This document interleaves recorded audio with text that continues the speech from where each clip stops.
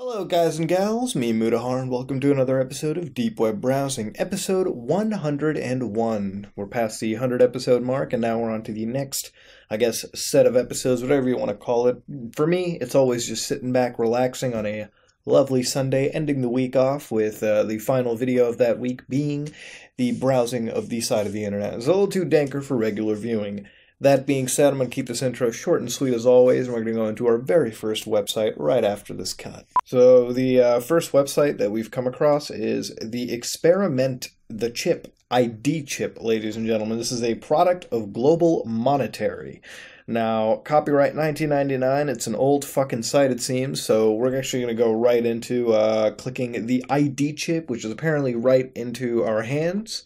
So we're going to hit enter on that. Now, what is this? Welcome to the ID chip experiment. ID chip bioplant uh, to bioimplant technology. Uh, for those of you who don't know, there's actually like this is actually like as, as, as sci-fi as it sounds is actually like a reality. Uh, there are like people who put like uh, little NFC chips into their fucking like thumbs and shit like that. Like you can like implant that stuff. Like it's basically for those of you who don't know, like you can like you can get like NFC stickers and shit, and basically you can implant them with like a certain code. Or uh, you know, fuck. If you ever like seen uh, those Wi-Fi NFC chips, basically what you do if you have an NFC enabled phone, right? You would take your phone and you would like place it onto the tag, and it would instantly connect you to the wireless hotspot. And there's like tags for a bunch of stuff too. Uh, NFC tags, like ones that'll help you putting into your car and then it'll detect that you're connected to your car. It'll connect it via bluetooth all that stuff. So this stuff is already a reality. The id chip experiment is just an old fucking site. This is before the concept of near field communications. So we're going to go into this. This is apocalypse averted world saved. I always love reading about the fucking apocalypse. Let me go into this. Everyone remain calm. The antichrist is not among us. Remain calm all right the, the site was intended to be a little more than a mild curiosity, not a cataclysmic event. I had no reason to expect more than just a few curious folks to visit the site per day. It was to be an embodiment of millennial angst from which I was going to compile responses, etc. I don't know it was going to turn into the War of the Worlds Internet Edition. I think this guy's kind of like selling this site a little more than I would expect. I would like to apologize to everyone who, for whatever reason, thought this was real. Uh, I wasn't. I wasn't sitting here, uh, you know, thinking this was 100% real. Now, it was never my intent to cause widespread hysteria. When it was apparent that this was that this was what was happening, I revealed to all that the ID chip was not for real. Man, you should have fucking done that, Bill Cross. All right, you you could have fucked with more and more people. You'd have to you, come on, man. Who's gonna actually believe this shit was fucking real? So why and how it was done? Let's see this. Sometime in July, I decided that I was gonna build this. So this is just basically a biography on this, how this guy created a website that spooked like maybe two or three old grannies at a retirement home. I decided that I was gonna build a specialty website for comedy writers. I wanted to do the web design and layout myself, but my webmastering skills were sorely lacking. Hey man, we, we all start somewhere, right? I thought it would be best to get some practice first on something less important, maybe some sort of art project.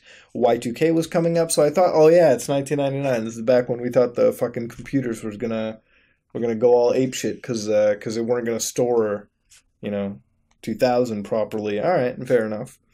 Uh, uh, how about a spoof of a company that's selling the mark of the beast? Yeah, actually, I remember this shit. Back in like the ninth grade, there was this uh, there was this Chinese girl who was like religious and shit. Like she was like really, she was a was she was Catholic and everything, and she told me that you know the mark of the beast that they thought that they were gonna have like chips planted like right into the forehead over here, and it was gonna fucking it was going to have all control over us. People were going to be watching us all the time. The mark of the beast and all that. Yeah, I do remember something like that, except it wasn't in the hand like this person saying. I mean, it could be, you know, whatever. I mean, it's actually crazy because a lot of people do believe that this is like a sign of the end times and shit like that. Like, again, this is. And I, I guess it makes sense, you know what I mean? Like, people are going to sit over there thinking that because you're getting ID tagged. It kind, it kind of seems like the mark of the beast almost, right? Uh, uh, the site was launched inadvertently on t- Tuesday 17th by a visiting friend who didn't understand that I'd made it public yet. As it turns out, it was sort of akin to the president of the U.S. stepping out of the bathroom to find that his drinking buddy had just launched World War III. He posted on a small number of Usenet groups something to the effect that there was a company selling the mark of the beast at idchip.com. Well, that's why you don't leave your computer unlocked around people when you're covering sensitive shit, right? Although, that's gotta be the fucking most hilarious shit I've ever seen. Like, could you imagine the Usenet postings right there? For those of you don't know, Usenet is basically like message boards and shit back then. All right, let's go back out of the ID chip experiment. Show me the ID chip website. All right, let's see the actual fucking thing. So this is a site he made, Global Monetary. This fucked with people back in the day. All right, let's go to Global Monetary. Become an ID chip member and receive $250 Dolans. That's a lot of Dolans for back in 1999, by the way. We're talking about fucking over inflation, right? FAQ. I am concerned about getting an implant. What can you tell me about it? The ID chip implant is a very small electronic device that is painlessly implanted in the tissue of your right palm. It leaves no scar and is not visible in any way. You will not be able to feel it in your hand, as the device is mostly soft, flexible plastic. It will never need to be removed as it is continually recharged by the proprietary mouse. People have been made frightened of such devices by television programs, but there is no justifiable reasonable for concern. Pacemaker heart implants, which involve a much more invasive installation process, have no such stigma associated with them, and birth control implants have been used successfully for years. How do I know I am qualified to become an ID chip member? All right, how are you qualified? Everyone, everyone will be eventually everyone will be qualified to become a member, but for now, all you need is to be a all you need is a qualified computer and to meet the demographic qualifications. Back in the day, you needed to have like at least a Pentium fucking 3 to get an implant, all right? Pentium 4, you were fucking given the implants at that point, motherfucker. How I sign up to become a member of. Okay, obviously, we know how to fucking sign up. Uh, how can Global Monetary afford to pay so much money to get people to join? This is a point that puzzles many people. However, one only needs to look at the valuations of cable and internet companies to understand. Take, for example, the recent acquisition of Gannett Co. Co. cable assets by Cox Communications for an amount equal to 5100 per subscriber. eBay, all right, so basically they, they got money, all right? They, they got they got some money going on apparently. All right, let's go see employment. Uh, maybe you want to work at it, right? Uh, oh, oh man, all these jobs are making you want to kill yourself. Uh, about us, let's see. Global Monetary LLP is a closely held partnership with over 5 billion dolans in assets. Our primary goal is to establish a secure and affordable means of engaging in transactions both over the internet and in person. It has made a bold leap into the field of subdermal implants to build such a system. Now, hold on. As we're looking into this, right? This is like a regular fucking site. Back in the day, I probably would have believed this shit to an extent, right? But like, oh, he's got like emails people send him to. This site doesn't seem really fucking scary to be honest, but people send him these emails. One of them is you are one very dangerous organization that needs to be dissolved. You gift you gift wrap your sinister motives and basically you want to control each and every person. Apparently, you think we are a world of idiots and don't uh, see through you like tracing paper. All right, I rest my case. Oh my god. To whom it may concern, this person wrote it in all caps, by the way. The use of chips embedded in human flesh is immoral. It's against God. Is this another plan to make the rich richer? If the Rothschilds are involved, I'm sure it is. This, I'm, ooh, I got a text. This, I'm sure, the same family that helped Hitler. what the fuck is this, dude? Jesus Christ, man. Same family that fucking helped Hitler. These motherfuckers, dude. These motherfuckers. All right, let's see this. This is one of the funniest, most excellent hoaxes I've seen. Yeah, it's pretty much a fucking hoax, right? But basically, the messages he got, Jesus, Jesus Christ, dude. This guy, what was the secret page? Okay, the secret page. Let's see this. Uh, one of the ID chips right over here. This is a secret page. Developer all right, this is this is a job he offered. Must be gullible enough to think this company is for real, but smart enough to follow this tiny URL plus two years of system development experience. All right, got All right, he's fuck. He's a fucking Joker. It seems. So it seems like the ID chip experiment used to be a site that confused the fuck out of people, but now it's just there as a memento to let you know that people were actually fooled for this shit. I will admit, the best part of this first segment is the fucking all caps same family that helped Hitler, Jesus Christ. Thank you for making this video. Non family friendly. Let's go to something else. Derrel Sims, the Alamau Hunter. Oh boy, alright, you know it's gonna be great when this dude's off the coast of what seems to be Miami with a cowboy hat and like fucking almost BDU gear on. Derrel Sims, the Alamau Hunter. All right, the world's leading expert on alien abduction. You know how many fucking people I've seen just in the series that claim I am the world's leading expert on ghost rectums. I'm the world's leading expert on alien fucking you know lungs. I'm the world's leading expert on Casper. Everyone's a goddamn expert, okay? But let's see what Derrel Sims is. So his 38 plus years of field research has focused on physical evidence and led to his groundbreaking discoveries of alien implants. All right, now I'm intrigued. This is discovery. He's got evidence. As a former military police officer and CIA operative, what? Okay, this is legit if this is the case. Sims has a unique insight to the alien organization, which he believes functions similarly to an intelligence agency. All right, so the, the, you heard it right here. Aliens are like the fucking NSA. All right, so fair enough. They they. what the fuck, man? All right, we're gonna open up the alien implants. This is this is the key uh, deciding factor of what the fuck this is all about. Oh, he's written a book. Okay. In this book, Alamau Hunter, Evidence and Truth About Alamau Implants, you will read the truth behind Alamau implants from the researcher who started it all. Dar- Derrel Sims, what the fuck are you? Like an alien hunter, researcher, CIA operative? What the fuck, man? Uh, anyways, abduction researcher Derrel Sims is a pioneer in the field of alleged alien implants. Well, obviously you're a fucking pioneer. I don't think anybody's really, you know, created the science of alien implants. He has the largest collection of alleged alien implants and artifacts to date. All right, at least proper words were used.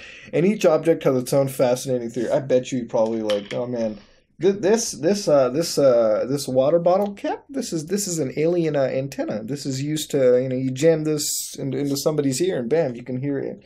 Come on man. Uh, anyways you know enough dicking around.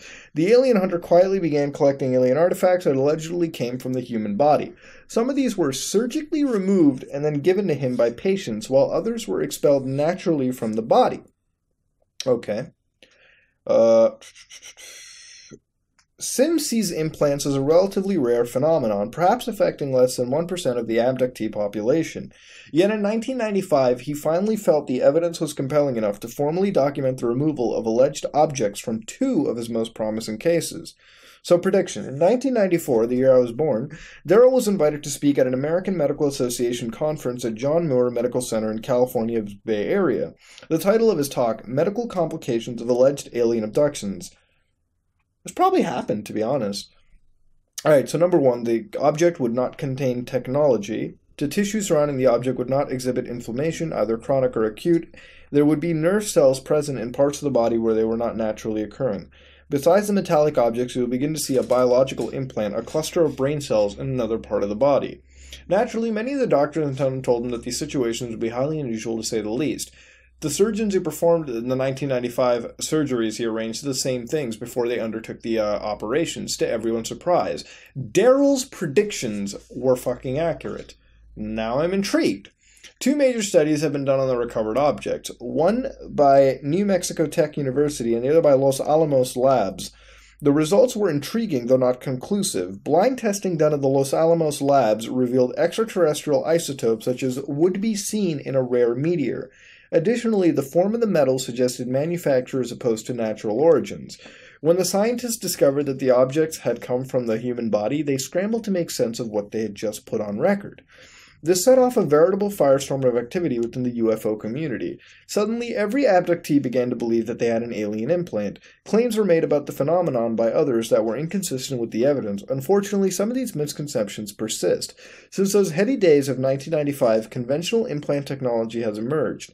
From microchips in the family dog to medical implants to dispense homo, uh, hormones, Still, others have put forth claims of nefarious government implants, which has further clouded the issue. Okay, so because Derrel Sims at one point had two cases of this shit actually being the case, it seems. Again, I don't, I don't have any evidence right here, but it seems like it was the case. Everyone was like, "Oh, I, I, I have an implant too," and then somehow they were like, "Well, the CIA probably implanted or some shit," and then it got cloudy right out of there.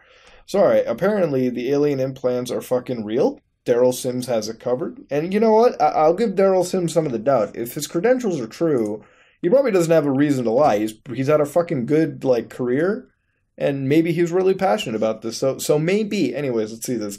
One Kid Who Didn't Buy It by Derrel Sims. All right, he wrote a little alien abduction story. The very first time I saw the entity, I would not accept a suggestive command you will not remember. Let me start at the beginning with my first conscious event. The year is 1952. I'm between three and a half to four years old and lying in the bed in 105, 1005 uh, South K Saint in Midland, Texas. An AC unit not quite fitted to the window allows cold night air into the room. There is a name on the cooler unit, but I can't read yet, so I can't tell what it says. Uh, okay, alright. So it seems like uh, he's got a little fucking story right here. Alien becomes a clown? what the fuck is this? It? what, what are we doing here, man? All right, all right. You know, Derrel Sims, I'll give you that. Abductee questionnaire. Oh boy, questionnaire. Okay. If you believe you or someone close to you have had an alien abduction or contact experience, then this section is for you. These few questions decide to assist you in drawing forth memories. All right, so if I was abducted, this might bring me memories. In your recall of the experience, can you remember the details of the alleged Ailimau image? Specifically, can you describe its feet or the inside of the mouth? Oof. No, I I wouldn't know. If you answered yes to question one, were you able to touch it? Do you recall how the alleged alien communicated with you? Do you know where the alien touched you? If you answered yes to question three, did you observe them working as a team? All right, see, but like the problem with these questions is like if one of the questions is barely recalled in your head, you might start making up question three and five and then even six. You know what I mean? Like you might start, your brain might start making that shit up. All right. Aside from that, they got a support section as well. So if you if you need a support section, you definitely have it. Uh, UFO news, Roswell. We have already heard a shit ton of Roswell. They got videos, uh, like Derrel Sims. Uh, this is from him in Italy physical evidence. All right, this is a this fun shoot was done for Sony TV. They made me out all serious, but I have a really good sense of humor. I promise. All right, fair enough. Let's go to the alien implant from India. All right, interesting. Young alien hunters in India. Derrel Sims at Taj with Hitesh K. Yadav and Shivana, uh, Shivana Shukla just back from my trip to India, and it was epic in many ways. To experience this rich ancient culture firsthand was a wonderful experience. All right, wait, what did he find? India implant in situ. My investigators were impressed with her story, the details and clarity, blah, blah, blah. Oh, wait, so they. Okay, the case they uncovered that brought me to India involves a bright, bright professional woman in her early 30s. She and some of her family members have experienced multiple contact with what they describe as children as monkey people. Our patient has recall our patient has recall of receiving alien implants at various times in her life. The surgery okay, wait, what is this? The, so this is the object they found. The metallic object was visible beneath the skin as a lump. The patient was resolute to have it removed surgically, which would be a simple procedure. She was also interested in learning more about her contact experiences than she was able to remember.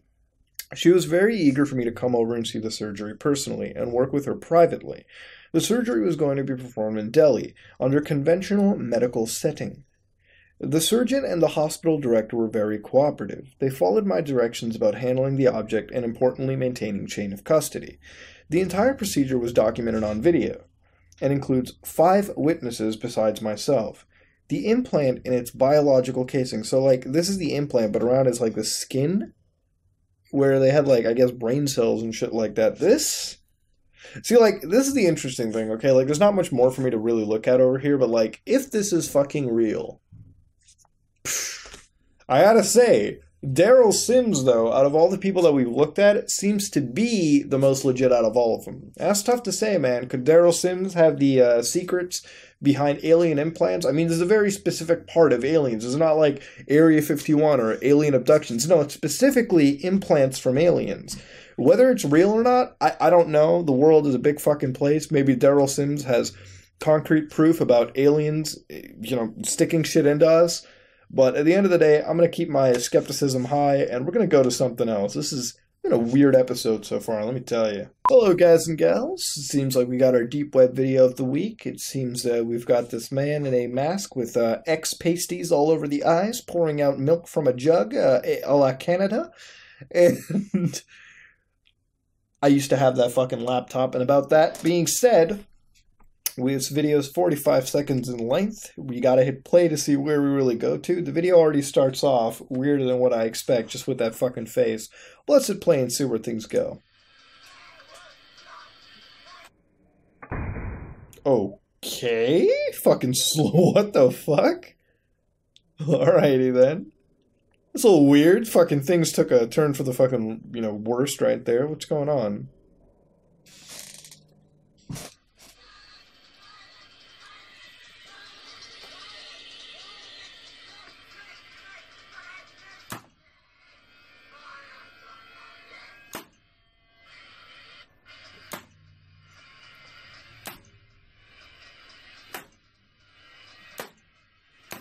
Why the fuck would you do this? What's going on? It's just some dude breaking his fucking laptop. What the fuck was that?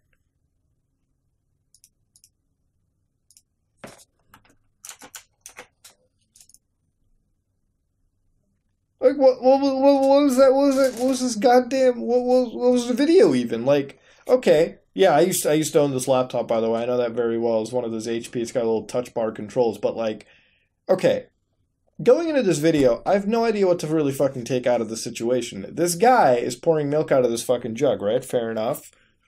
Out of fucking nowhere, this dude just he just he straight up just he just starts hitting the thing with a fucking hammer. He's got like some music playing in the background, which I'll probably have to like kind of edit out. I don't know how it works out, but it just it doesn't even sound like music. It just sounds like screaming. Ladies and gentlemen, I think we have a video over here I really can't explain. So, like, as far as it goes, first thing that he does, hits it slow mo with the fucking hammer. All right, and so like this person over here, the video didn't even like start. If you look into it, well, no, the video is going there. It's just pouring like what appears to be like hot water, hits it slightly, and you just go off with this dude like zooming in for a little bit. Video doesn't run. It seems like the screen on initial impact stopped giving it a single fuck. Wait, no. I think I think it might be giving some response, but then he just fucking proceeds to do this shit and breaks it crazy.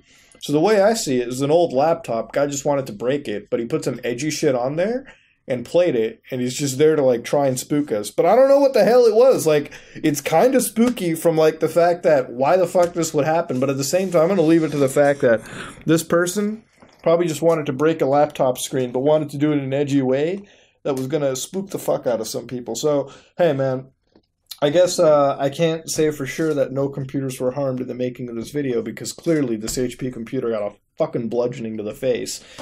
But uh, hey, if you got any fucking answers to a 45 second video of a dude hammering a fucking computer screen with some creepy shit in there, by all means go for it. And this isn't the only time I've ever had the iPhone resolution. The last time we had it was like that fucking the Indonesian ghost thing or whatever the fuck it was. I'm just saying Indonesian because like for some fucking reason that's where that's where like most of this like ghost CCTV shit happens, man. So fuck, dude. You know what? I don't know what to say, man. You got me there.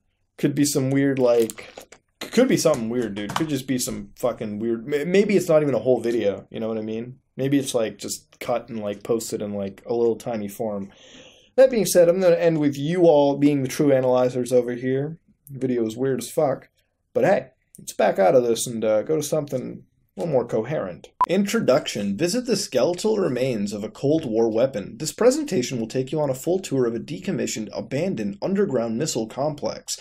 The site was opened many years ago by explorers and vandals and people who really loved the nuke JPEG they found on Google. And in fact, the technology therein was nearly obsolete by the time the bases were completed in 1963, so there's a little secret about it beyond the location of the site, which we will not reveal here. We were violating federal trespassing laws by visiting this installation, and we were risking our health and lives in the process. We also were caught. This was second degree criminal trespass. Felony charges will haunt you the rest of your life, even in the middle of nowhere. They're watching. Please do not try to enter one of these sites yourself. Had one of us been hurt beneath the surface, it would have been very difficult to remove the victim body, given the condition of the entrance, not to mention the presence of asbestos and many other chemicals in the tunnels because of the poor air circulation. All right, so don't fucking do this. These people got busted because of it, unfortunately. But let's go into this, okay? Let's see where they went to. This is a missile base that was functional up until the point of the late 1960s and was decommissioned. All right. So this is this is the abandoned road that led to the site. All right, you can see like the fucking grass coming through the cracks and shit. Nature's taking its hold a little bit. Let's go more into it, okay? Standing at oh, why the fuck censor your face at this point? You're already busted. Standing at the entrance, which looks like an emergency access hatch, the real staircase down to the complex was sealed off and is under the metal lid in the foreground. These people actually go into some place they're not allowed to. This is intriguing. So we were standing on a platform atop the elevator shaft, looking down at the entrance pit. The concrete column, painted toxic, was apparently dropped into the pit to block passage but really provided a means of climbing down. Beyond the column is a small, dark room containing the sealed off staircase to the surface. The steps down into the elevator shaft are to the right of the photo. True for all the underground photos, the place is not usually this brightly lit. There is no electricity at the site, and everything is musty, damp, pitch black, right? So this is all external lighting from them. So as we go down further, let me actually open this up real quick. They get it. It seems like there is still a lot of graffiti as they go downstairs, but they're working their way down. They're, they're working their way down through these stairs, and they apparently disappear into the water just beneath the main level. So there's a little bit of like you know water buildup, of course. But as they go through over here, you're still getting more and more graffiti and shit. But they got heavy steel blast doors for the main entrance, so they're really keeping some shit safe behind. But as you go into here, it's got this like bunker layout. Oh, you can see you, dude oh, this probably smells like ass when you get down there. Probably like gives you a little bit of like a mind numbing headache. I can already tell, let me tell you right now. So this is just past the blast doors. All right, they got water tanks and shit. They've got like communication silos. But as you go further into it, yeah, there's still people down here. Look at the amount of graffiti, dude. Like, you got a little fuck you written over there. The zone apparently is right here. But this is the living area for the crew. All right, fair enough. Oh wait, can we go through? Oh wait, no, this is going into the boiler room section of things, it seems. So this is the environment control room, as they want to call it, that runs air systems, water systems, four diesel power generators, each capable of generating one megawatt. That's a lot of fucking power, to be honest.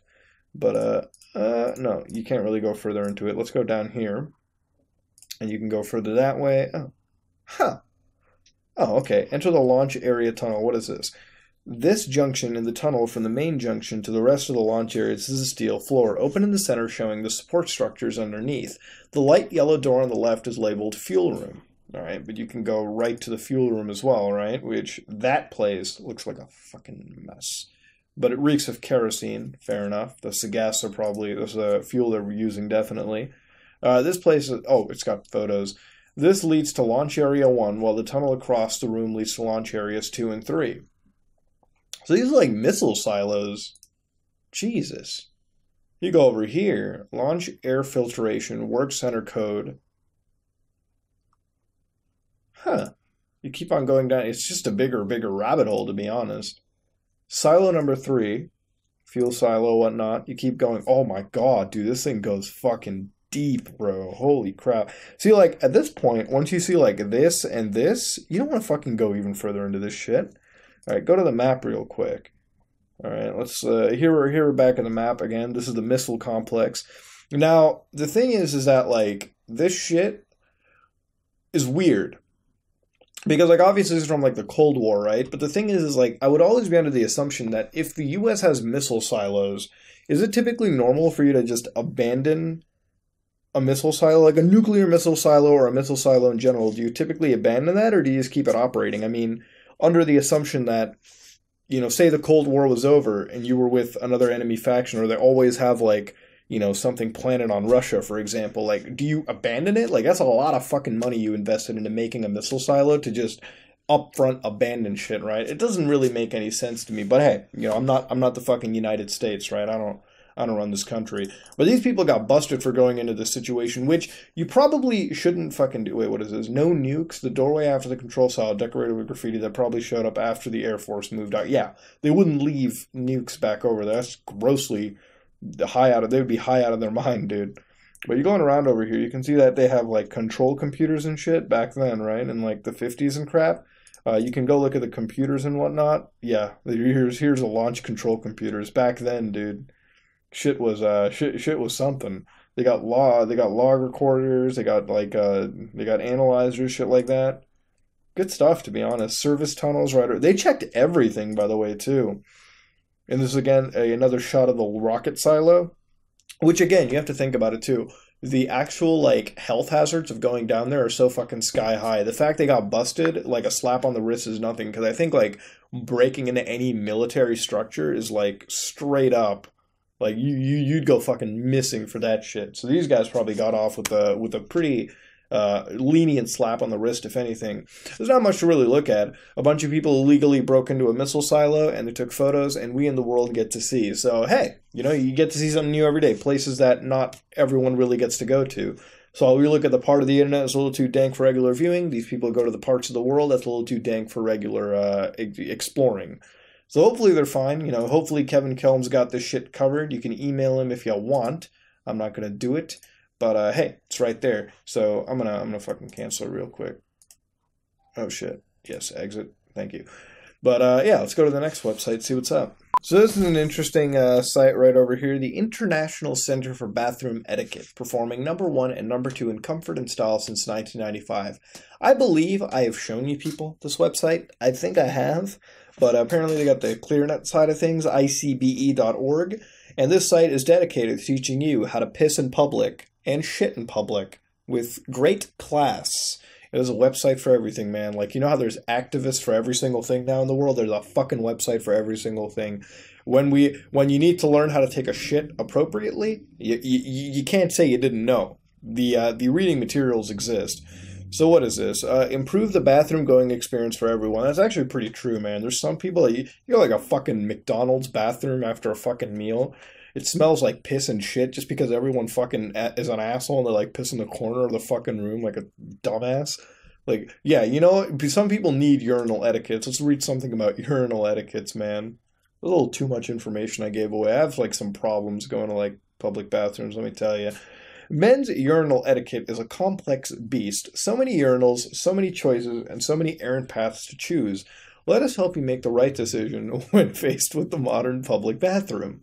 Other urinal etiquette pages. All right, so can, can I fucking make this thing like abundantly clear too? Like, like I get you're not supposed to maybe piss next to someone, but like in a grave time, you gotta do what you gotta do. All right, let's go through here. General urinal etiquette. All right, let's see this. If you are lucky, and rarely, let me actually blow up the text a little bit. If you are lucky, and rarely this is a situation, you may be on the receiving end of what is only known as the ideal situation. The situation is, of course, the presence of one urinal. The etiquette here is simple. If it's empty, pee. If it's not, don't. Period. Of course, a foray to the world of the public stall should be merited if the urinal is busy. But it is always preferable to busy oneself with washroom related activity while waiting for the urinal to free up. Wash your hands, check your hair, check the floor for loose change, do the moonwalk, etc. An important note is it is not considered proper etiquette to ask a peeing person if he is almost done. Dude, that's a fucking dependable thing sometimes. There's some people, you go to a bathroom and you will fucking be shocked. Some dudes, especially at a fucking bar, they'll be pissing for like five minutes straight, dude. Like they got a bladder fucking problem at that point. And at that point, you're not asking, are you almost done? Are you okay, motherfucker? Because you just pissed out like four gallons right now and you're still going. All right, important note. It is not considered proper etiquette. Yeah, okay, we got this. If you suspect the patron is merely standing around with his fly open, it is usually best just to keep those suspicions to yourself. But you can you can hear it. You know what I mean? Your ears can pick up if it's used. Kitty-sized urinals if you, it has brought to several of my attention over the past months that there is a serious need for guidance on the subject of kitty-sized urinals. You know the ones I'm talking about, the ones that look like they were accidentally installed for an elementary school, the ones that look like they might be useful if for some reason you were to pee out of your knee. This demand increased in several months of research and experimentation. Does a part of your male anatomy most crucial for peeing actually locate itself completely above the kitty-sized urinal? If yes, please refrain from using the urinal. If no, proceed to question two. You have to bend down to flush the urinal? If yes, please refrain from using the urinal. Are you unable to see the urinal due to your protrusion of your stomach? If yes, oh man, are you asking me if I'm too thick? All right, damn straight. Would it be more comfortable for you to use the urinal standing on your knees? If yes, please, yeah, probably. All right. Never pee next to a kitty urinal unless your child is using it. Attempt to leave two urinals between you and the kitty urinal so that a child and his father might use them. Instantly avert your eyes if a child is using it so you don't get beaten up. the fuck am I reading, motherfucker? I'm reading how to piss. All right, let, teach me how to piss at home. All right. Uh, bathroom etiquette at home. Sure, teach me right now. If you live alone and have no guests, do what you want. Damn straight. Leave the damn seat down. Yes, you heard me correctly. Stop being lazy men and put the darn seat back down. Really? Is it so hard to do something thoughtful for the woman in your life? How would you feel if you sat down directly into the toilet bowl one day? Not so hot, huh? End conversation and confrontational tone. There have been studies done which show that the most efficient thing to do is simply to leave the seat in whatever position it was when you finished up. But this is one of those cases where we think women need a break. You know, pro- oh, somebody fucking came over. It's probably fucking. It's probably, it's probably somebody trying to sell me something. Fuck that shit. I'm learning how to pee properly. Don't pee in the shower. Use the fan. Replace, dude. You can't even say don't pee in the shower. Sometimes you get really fucking hammered and you come home and that's the first thing you fucking do. All right. Anyways, I think we're spending too much time on the topic of pissing. We're gonna go to the international bathroom side of things and see just how people piss all over the world. So okay, so they got different bathroom etiquette for Australia, Canada, the Czech Republic, England, Germany, Greece, Iran, Japan. Let's see what Japan is like. I'm going to Japan next month, so let's see what the fuck Japan is about. Anybody who's ever traveled to Japan will tell you that going to the bathroom, there's nothing like going to the bathroom here in North America. Uh, Provide us with an actual piece of an actual Japanese bathroom with a kimono and a bajillion buttons. No, we don't have a clue how it works. Yeah, you see, like, that's fucking weird, dude. Like, you got two toilet paper rolls, you gotta pick which ply you're gonna be using. You got that flush, but you got this fucking airplane, goddamn entertainment flight system down over here. Like, goddamn, bro.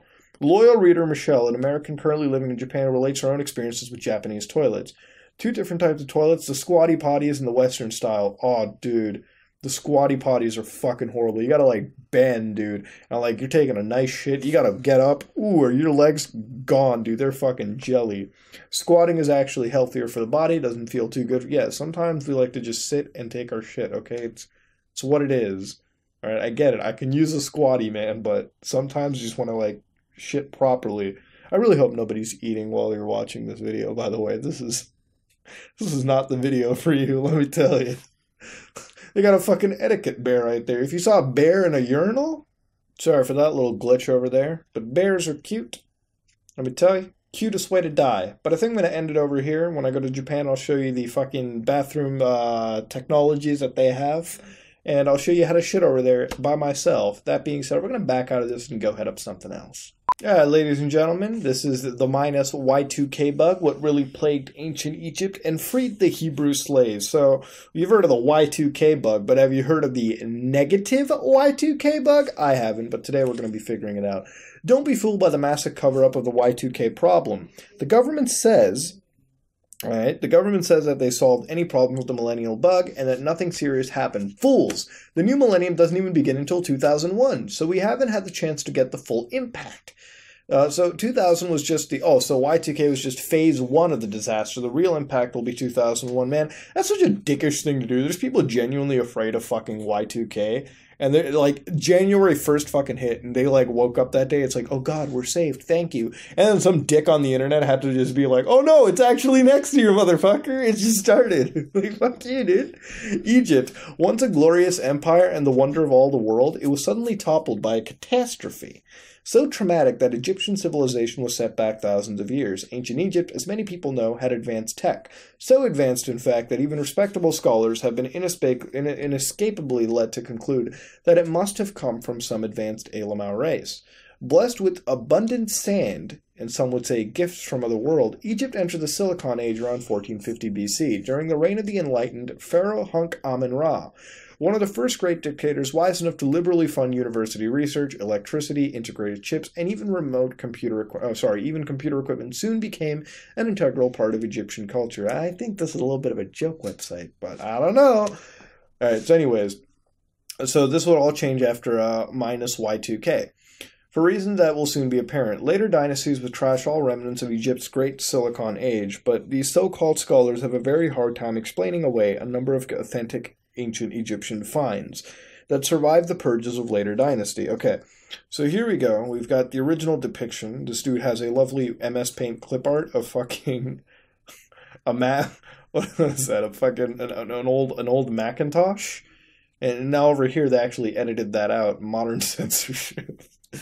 In the original figure above, Hathor is wearing a stylized CD player, probably, uh, on her head.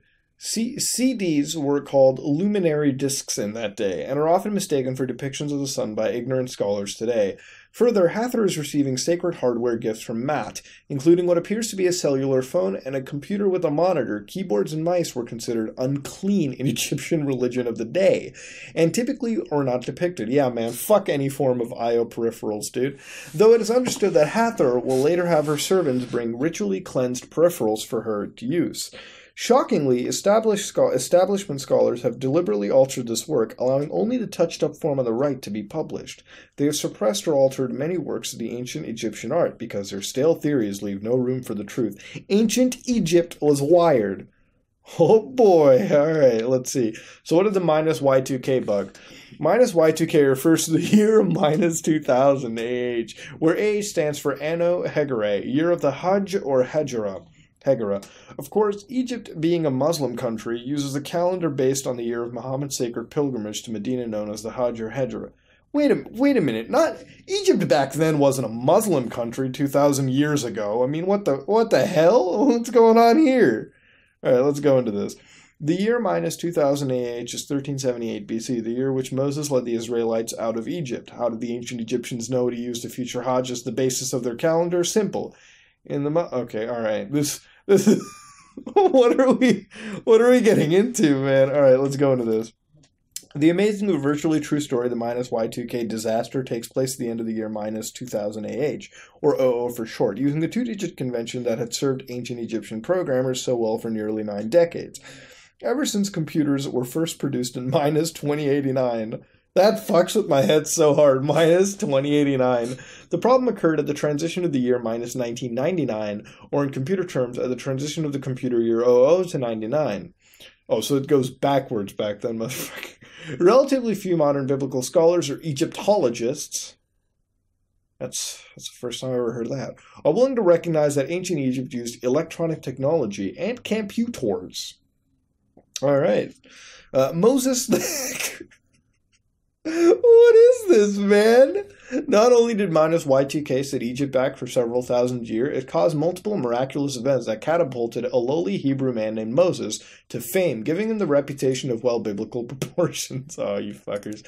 And enabling him to free thousands of Hebrew slaves. The Hebrews, of course, were legendary for their computer skills, but had been reduced largely to slavery. Their company, the one that largely started the Silicon Age, Israeli Business Machines, IBM, had been the victim of a hostile takeover by Pharaohsoft. Fuck, man. And now even project leaders and land administrators of IBM were forced into abject slavery. You know, life in small cubicles without adequate break time and unfair performance reviews by narrow minded Egyptian managers. Quotas, man, you know, ancient Egypt was a lot closer to today's day and age than it was back in the day, man. All right, so they got a bunch of plagues. The rivers turn red. Frogs, lice, and beetles. Uh, plagues four and five. Flies, flies, flies. And beef. Uh, beef futures burst. Uh, plague number six. Boils and banes. Hail and fire. I love how they compared it to like the computer side of things. I guess you could say. Uh, what is this? Pharaoh's approval ratings dropped 13%. Uh, number eight was locust and darkness. And the final plague was the Egyptian IRS had worked hard to be minus Y2K compliant. But with so little time, the future was futile. All records of income, land holdings, crops, and other forms of wealth were suddenly erased, appearing to be a hundred years too old to be of any interest. But the Egyptian IRS needed offerings and needed them urgently to meet their quotas and appease the gods and bankers. Man, no matter what century you go into, the IRS is a bunch of cunts. Anyways, going through over here, aftermath, blah, blah, blah, blah, blah. Moses became a hero, led his people on a 40 year journey, promising exciting new software upgrades that proved to be vaporware, except for a couple of hard copy tablets that weren't executable files. At least, not for many of his people. Frustrated by the difficulties of pr- promoting new software in the absence of the technological infrastructure that Egypt once offered, Moses repented of his programmer hacker ways and turned to religion, many becoming one of the greatest religious leaders of history. All right. So, for those of you. what the fuck am I reading, dude? What was that? So, we've all heard of Y2K, but today Y'all heard the skimmed version of the negative year 2000 bug. Who said those Egyptians, you know, didn't have mic- Pharaohsoft and Israeli business machines? What, what would their version of fucking Apple be, too? Like, could you imagine that? Let me know in the comments below what you think we're gonna hit up something uh, I, I, think a little more realistic next. Let's let's get out of here. And ladies and gentlemen, that was another episode of Deep Web Browsing, the series where we take a look at the danker side of the internet. Episode 101. Good start to this set of episodes, I guess you could say. More interesting videos, very government alien oriented, which hey, kind of throws back to the original videos to an extent. That being said, I've also uh, I've also really liked focusing more on these videos uh, in a more analytical sense. I really like it rather than just combining seven fucking sites and not really giving them each the time of day. So we learned about bathroom etiquette, uh, an individual that discovered alien artifacts in the body, alien implants, sorry, and uh, whatever that fucking video was. But hey, you know that's just a that's just the fun of capstoning a Sunday off with the series. If you like what you saw, please like, comment, and subscribe. Just like if you dislike it. This is me, Mutahar, and I am out.